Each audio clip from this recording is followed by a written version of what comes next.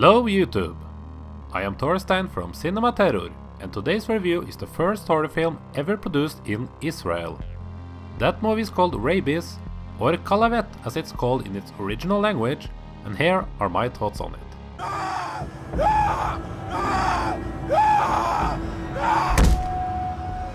In Rabies, we head out into the woods where a group of four young tennis players are driving through since they're having an important match later on. Suddenly, the trip comes to a stop when they accidentally hits a guy who came running out into the road. The guy tells them that someone in the woods has captured his sister.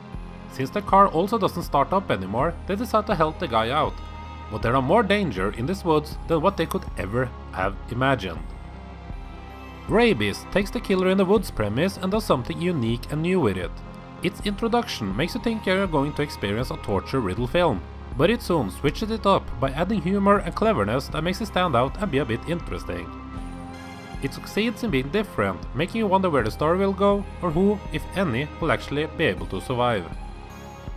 And just as a warning here, I'm going to go into a bit of a spoiler territory here. Nothing that will ruin your own experience with the film, but if you don't want to know anything more about rabies, then you should turn this video off at this point. Basically, the evil in the film are not explained. You are misled to believe that there is a serial killer on the loose in the woods, but judging by the actions that come, the evil comes out of all the characters as soon as they are put into a stressful situation. It's basically showing how violent people can be, I guess. It feels like there's supposed to be an underlying message to the whole thing, but if so, then it is not explained very well, or perhaps I just didn't fully understand it.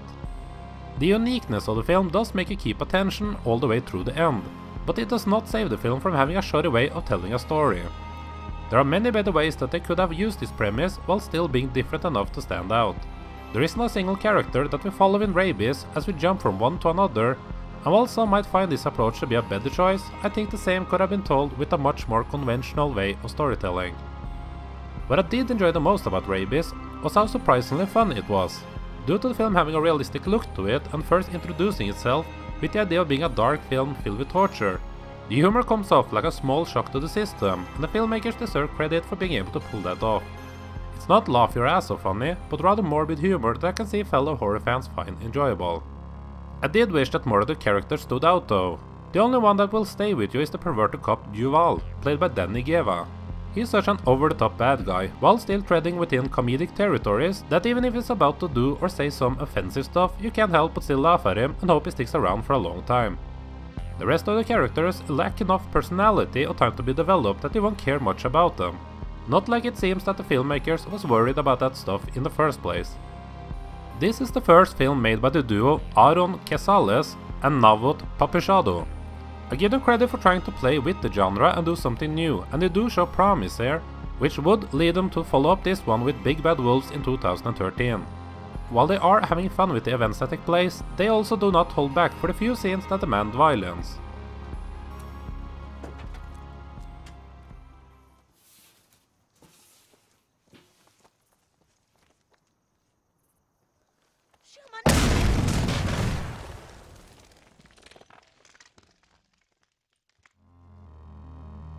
Rabies is not a great film, but it is different and fun enough for it to be worth seeing. It isn't quite enough to warrant a blind buy though, but if you see it on a streaming service or come across it for cheap, then sure, by all means, give it a chance.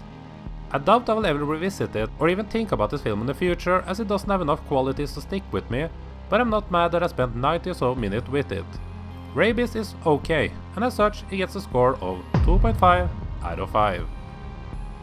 Anyone else seen Rabies? What did you like or dislike about it? If you're after other horror movie reviews then be sure to check out my other stuff, and I also have a Patreon page if you feel like supporting the channel with a few bucks. Check the description for more info, hope to see you again in the future, and thank you for watching.